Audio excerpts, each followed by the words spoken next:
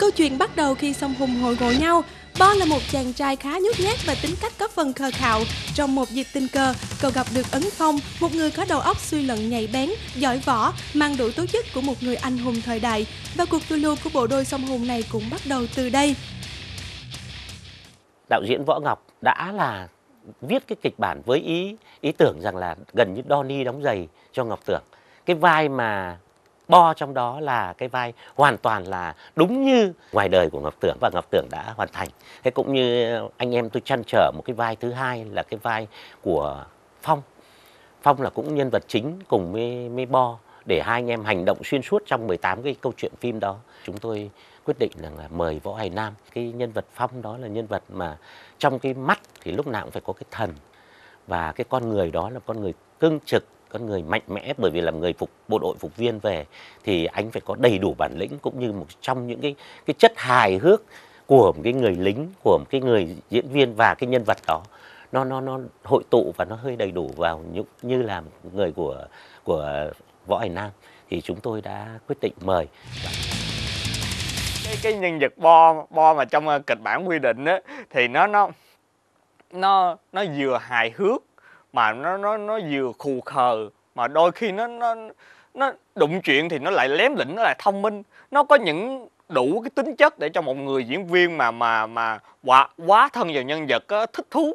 Và riêng nhân vật bo nè ví dụ là là giống như rất rành về máy vi tính nhưng mà cực kỳ là một người rất là nhút nhát mà lại đi làm vệ sĩ mà bảo vệ người ta lại siêu nhát nè rồi sợ ma nè không có võ công nè cứ đụng chuyện là bỏ chạy thôi sao bảo vệ được. Nhưng mà chính vì vậy á nên bật lên những cái tình huống mà hài hước khi mấy khán giả xem nó là thấy thấy thú vị ở nhân vật này. À vệ sĩ mà như vậy à.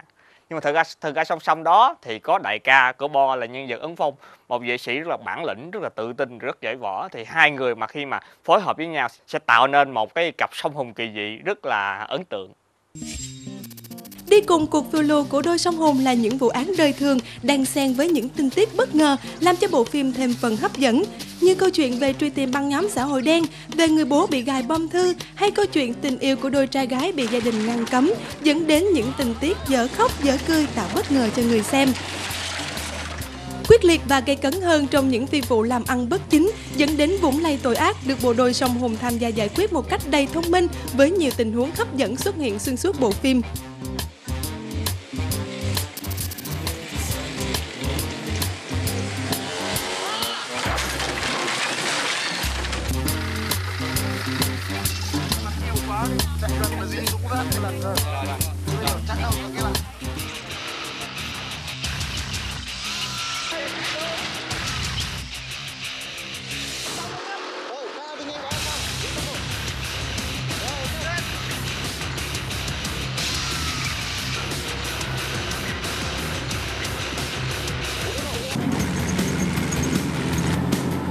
Nè Đuổi theo cái xe hơi màu đen Dạ, đó dạ. Nhanh lên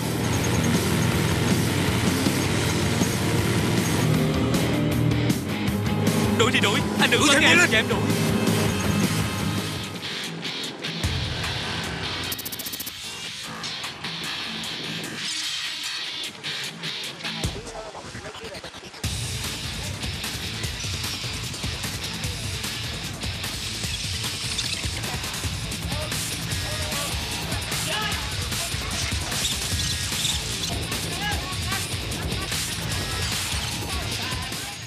Không chỉ có một nội dung vô cùng hấp dẫn đầy những tình tiết hành động xen lẫn với hài hước, những pha đuổi bắt ngoại mục được thể hiện qua những cảnh quay rất đẹp mắt và hoành tráng. Bộ phim Sông Hùng Kỳ Dị còn quy tụ một dàn diễn viên nổi tiếng như là diễn viên Ngọc Tưởng, Thúy Diễm, Kinh Quốc, Nguyễn Hậu, Tống Mỹ Ly vân vân. Và đặc biệt là sự trở lại sau 10 năm vắng bóng trên màn ảnh của nam diễn viên Võ Hoài Nam trong vai nam chính đó chính là Ấn Phong.